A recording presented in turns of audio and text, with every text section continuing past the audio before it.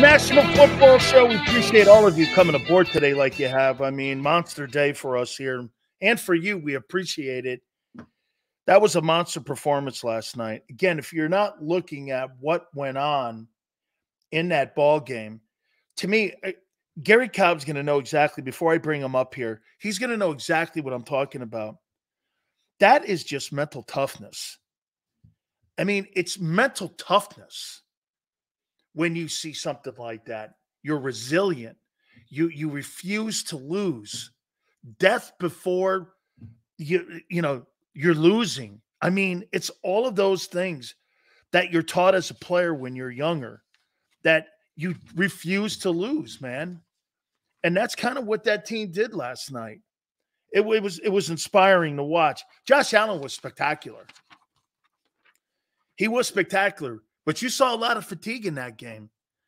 I can't wait to hear Garry Cobb from Fox 29. He joins us now here. And Garry, that was some performance last night, boy. I'll tell you what. I mean, you're getting your ass kicked for three quarters. And you just, man, oh, I mean, Garry, you know what I'm talking about when you're yes, I do. conditioned like that to not lose. I mean, very rarely do you see teams like that. Well, they've got uh, numerous people uh, on that team. You know, you got, of course, Jalen, um, you got uh, Jason there. You know, these guys are tough-minded guys, and uh, you know, and, and, you know they weren't brought up, you know, with the baby little, you know, like kids are brought up. Unfortunately, too, too many now. with Kids are babies so much. You're not born on third base on that team. That's right. I mean, and these guys were guys that got pushed, and they're used to being in challenging situations, so they don't just fall apart uh, when they fall down. Because really, oof, whew, man, that was looking ugly, man. That was ugly. The offense was looking ugly. The defense, you know, which the secondary has been struggling. They like giving let it was well, they're at least gonna throw for 300 yards. I mean, so and then to see them come back like that, that is really impressive. Uh, and you can see it happening. They didn't wince each time, and they're just uh, they've got a lot of outstanding, not just players, but people on that team that got heart. You know, they're fighters, man. Uh, that's how they got to where they're at, and and you can see that they, these guys are really people that do not quit. Garry, do you think this team's better than a year ago? Now that I don't know. I mean, I you know what? As much as we rave about, you know, how they have uh, found ways to win and everything, they haven't played uh, up near their peak yet. You know, uh, and they're going to get the challenge. You know, where you know 49ers going to push them up there. If they're going to play with them, they're going to have to raise that level. You know, if the Niners come out and play the way they're capable, where we've seen them play in their in their best games, uh, I think um, at the end of this season, when they get to the playoffs, you know, between the 49ers and the Cowboys and the Eagles, we're going to see some special football, man. How about this, Garry? Yeah. When you play teams like you're you played Dak, you had Tua, you went Mahomes, now you just went Allen. Any fear getting into this game? I mean, think about it. And plus, if you look at the snap count, we just we just looked at it. 74 against the um this is defense. Yeah. Against the Chiefs. Yeah. You had 95 um against the the Bills. The Bills had 95 offensive plays. That's 170 plays, basically, which is almost three games. Mm. Are you concerned a little bit about that going into this Niner game? Because, as you know, you're not only just physically uh, have played these games inside of a short window, yeah, but you now have a mental where you're playing championship quality teams, and now you got San Francisco. Is there a concern where you're a little bit, and plus you got some injuries and guys nicked up heading into this game? You know, they don't have time to be concerned. Uh, you know, you, you got to yep. just put that stuff, you know, and I know. Yep. I can say, yeah, but look. I'm talking like a media turd, Garry. I got it. Okay. no, I, no, no, it's, it's okay. But I, I understand that you can sit and think that way. But of course, they don't have they don't have time for that. Yeah. They have better. This is when you better strap it up. Because you could tell by the way the Niners, you ever hear them say anything about the Eagles, when they were walking out, I was down there in the uh, tunnel when they were walking out at, uh, after that playoff game, and they were telling, "We're going to be back. We're going to be back." They were already saying that. because they felt embarrassed because they really weren't able to compete with the Eagles after their quarterbacks got knocked out. They, they were a joke. They were like having a um, you know, some type of a, a, a, garbage team out there. I mean, it was just like it was it was no chance. Christian McCaffrey was a quarterback at the end. I, I mean, it was a joke. It was a joke. So they were embarrassed, and and they took that personally. So they're going to show up there ready to fight. you know, I can see them just hey, they never play the game. They just have a fight starts. Reddick's calling them whiners. Uh, it's calling them right. Hey, yeah, yeah, yeah. I mean, because look, you got your guy knocked out. That's your fault. Okay. That what was you're gonna blame the Eagles for knocking their quarterback out? Come on. I, see, I actually like shit talking like that. Yeah, it's good, man. It's fun, but that's why I, I that's why I'm saying this is gonna be a, a straight up good. This is gonna be a battle, just like a, a fist fight, you know, where somebody get their teeth knocked out and stuff. You know, this is gonna be fun, man. How about this, Garry? Yeah. You played with Jerome. I played with him. Yeah. You think this guy Carter can be better than him? Uh he's uh you know, I don't know if he has that dog the way that Jerome does with you know, but I think he's he, I mean talent-wise, I haven't seen many players at his age that doesn't has, he look like he's been in the league 10 years? The kid has acumen. Yeah. Going like this is your rookie year. Yeah. The, thing, the things he does, the kid is just He's smart, man. And uh, you know, but when you talk to him in the locker room, you see he's just a kid. You know, he's so. Oh, young. he's got a great smile. He reminds me so much of Jerome because yeah, he, he smiles. Yes, I actually think he's more of a student of the game than Jerome was. Yeah, I, I think so too. He does. I mean, the kid's smart. Yeah, you can see the way. I mean, way he reads blocks and things. You're going like, who taught this kid? Yeah, you know, he, he just picks it up and and and the thing he does is he anticipates what they're going to do. He sit down, you go and like, man, somebody taught this kid about formations and stuff. I know. I know. He kid learn all this stuff. At? He slides the strength. He yeah like, tilts and shit. I'm like, yeah. How did he? Where, where did where did he get that? I don't know who was teaching him, but he's very sound in that. And then he's just he's just a, uh, an amazing athlete. You know, hey, speaking you of know, that, that move where he tried to come up, go on in the, in the, the guy's legs and get yeah, the uh, yeah, the yeah, things the, like that. Like, who would think of that? Oh, I, I, it's brilliant. Actually, I thought he was yeah. going to get it. He almost had it. I'll tell you something, though, dude. The, yeah. One of the most impressive things in that game, I'm watching this 400 pound guy run down the sideline step for step. You talking about Josh the big Allen. Fella? Hey, yeah. I went like this. Yeah. Holy shit. Yeah. That thing was. I mean, that. Hey, I I I, I said to my friend, I go, "What is that thing?" And then, hey, it was like a giant rhino. Yeah. Running down the sideline. And I'm like, holy shit, is that guy hey, moving? I, I, was in the locker room after the game and they were in there talking. You know, I, I just like those kids. Those are some good kids. You know why? They play hard. Yeah. They go out and and, and you can see where uh, you got to give the people at Georgia credit that they, they they taught these guys how to play hard. That if you're going to be out there, you give it everything you got and uh, that's something that you know is, is just something I, I can't help but respect people that do that. And and both of those kids you know they play hard and they were in there after the game talking and you know you see they're talking you see how young they are. But man these guys play hard and they're going to do nothing but get better. You know davis is going to get better because you can see he was in there talking about you know working on his weight. He's always talking about that dropping that weight. He knows he needs to drop more. Uh, but but they're going to be good. I mean but uh, but this whole thing is fun now, man. This is going to be some fun stuff because these games coming up, man. Ooh, baby, baby, baby. And you know Dallas is waiting over there too. This is going to be fun. And uh, you know the the thing about the Eagles is, man, there are some cool customers, boy. Oh, are they? Come on, I mean, we were up up there in the media. You know, all the guys were going, man, this game is over. The guys were walking out. You know, these are all Eagle people. Now, I, I, thought they were going to maybe come back against KC. I didn't think they were coming back against the Bills last. No, I, I, not at all. I, and, I, didn't. And you and you got some people that work for the Eagles. See, now they won't say this publicly. hey, they're they're basically they're just about crying, man. They're going, this game is over. The way they look at the way these guys are playing at halftime. Can you believe the way they're playing? I mean, they got 21 yards passing. I mean, they're just awful. Hurts had a seven quarterback rating. Yeah, I mean, just horrible, man. horrible. Hey, Hey, hey, hey, Garry. But that dog on Hurts, he's a fighter, man. That son of a gun's a fighter. Boy. He sure is. Garry, are you concerned about this though, with guys hitting walls and maybe a little bit of depth issues and yes. fatigue issues? Yes. When the last two games, you've given up a total of 170 yards rushing. Yes. In the last two games, you gave up. You're averaging 170. I think it was 168 versus KC. Yeah. And 173 versus uh, Buffalo. Are you Look, concerned about that a little bit the last two Yes, weeks? I'm very much so because when I look at the Niners, man, if you let their running game get going, all the things they do off of that, yeah. man, they carve you up and and and you know they're they're the kind that put the dagger in you. You know, you, you don't see many teams that respond after they get into them. So I, I think their job is going to be much tougher you know, playing against the Buffalo and in San Francisco is like in a different world. Okay.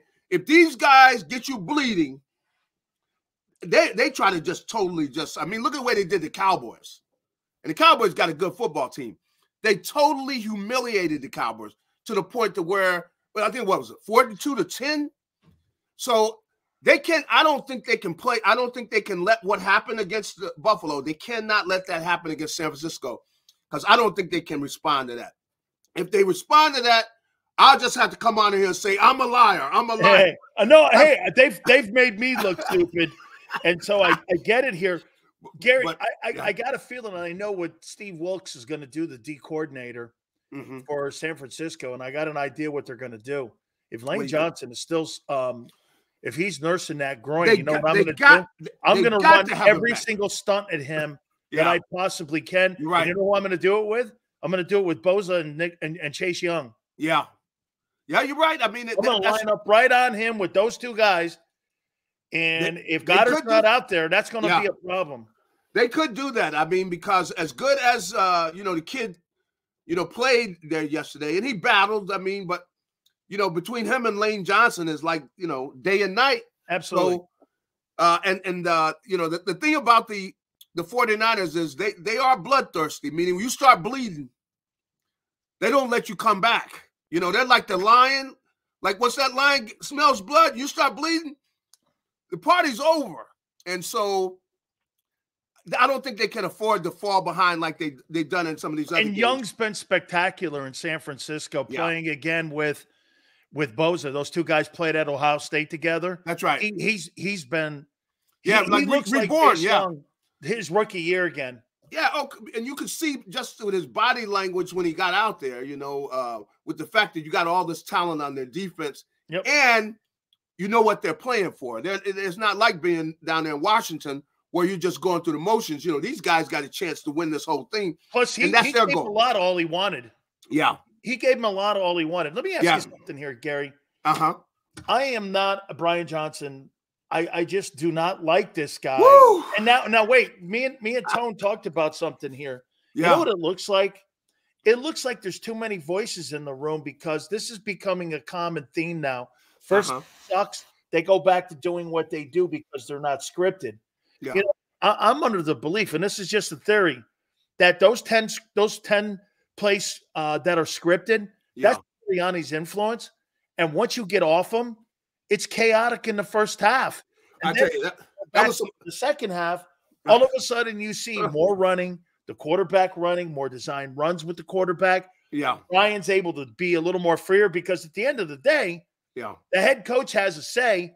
And if you're not changing anything, Garry, at the end of the day, there could be too many voices in his ear right now and in the quarterback's there, And that's why it has hasn't looked like last year. I tell you, um, that was some of the, the worst football I've seen. That was uh, terrible. The, the, way the offense was playing at the beginning.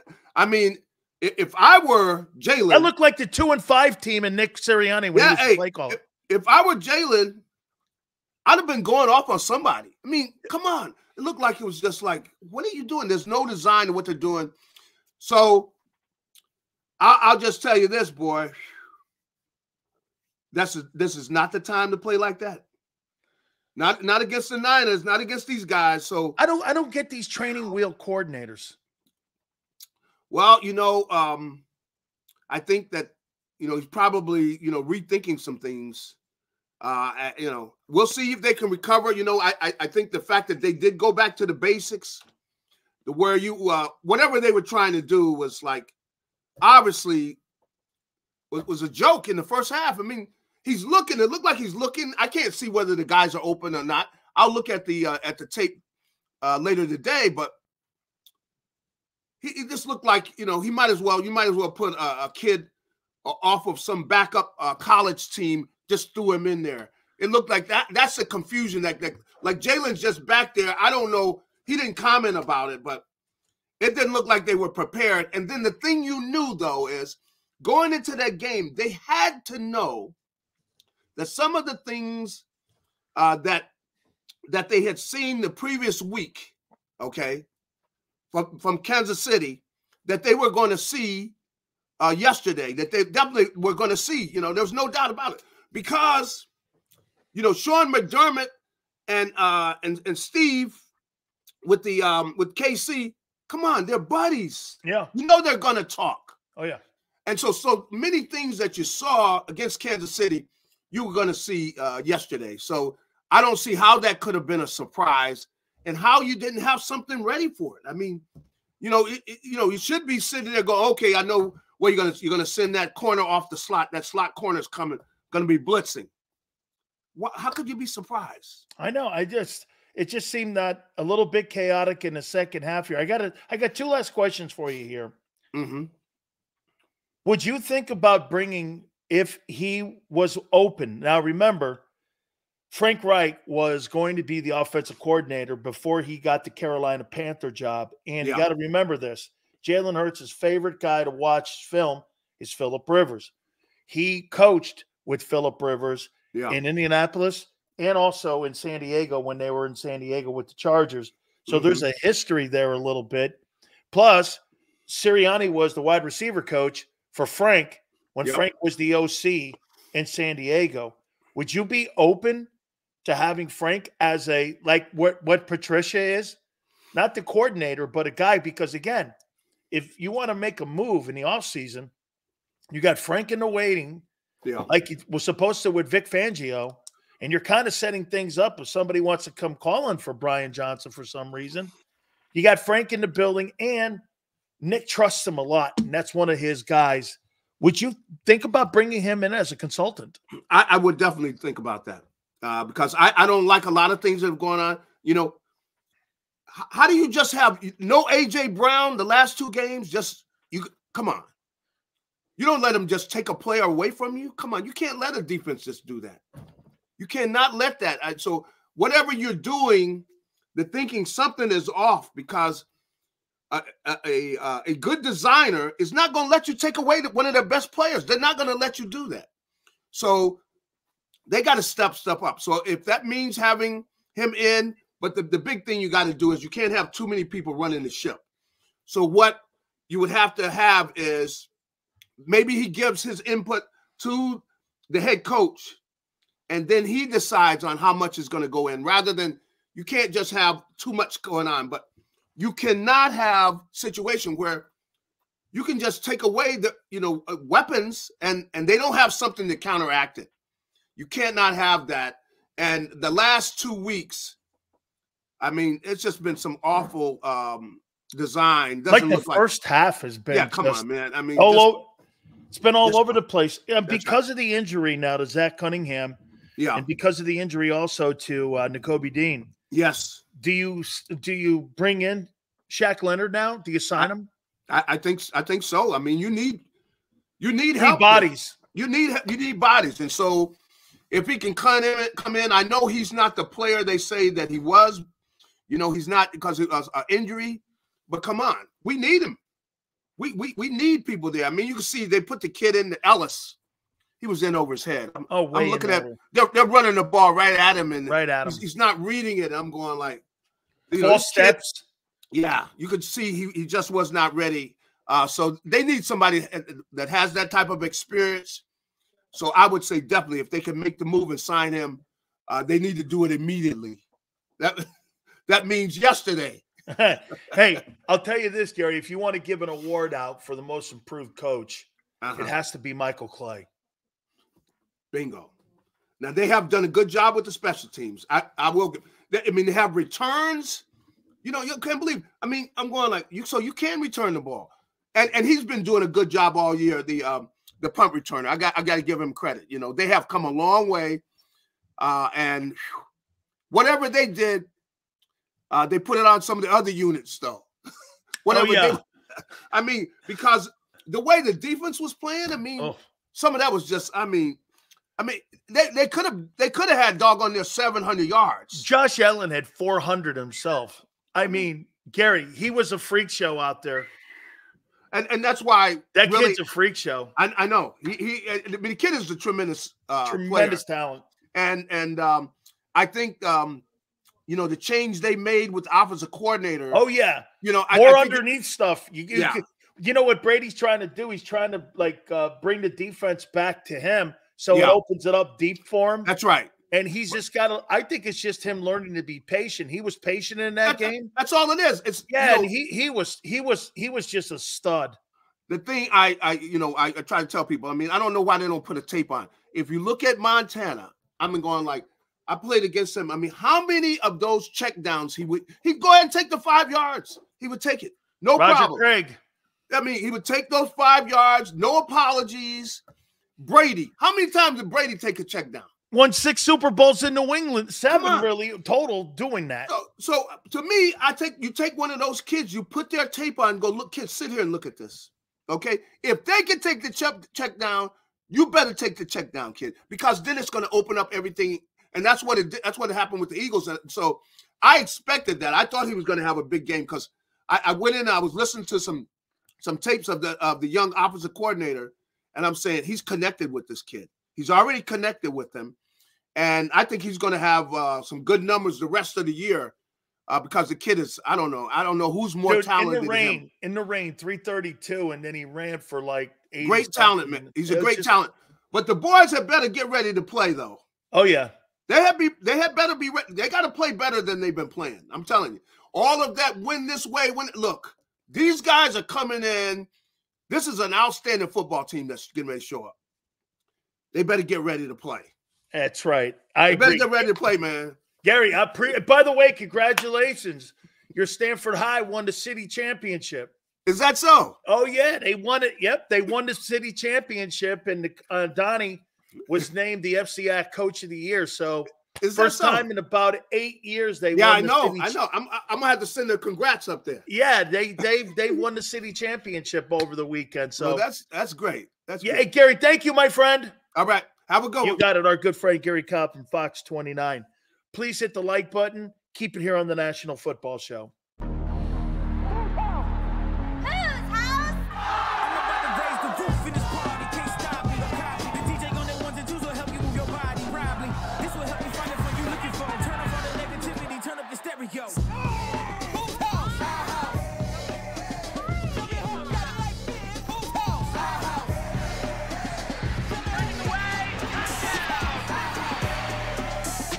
Football and Hooters, the perfect pair.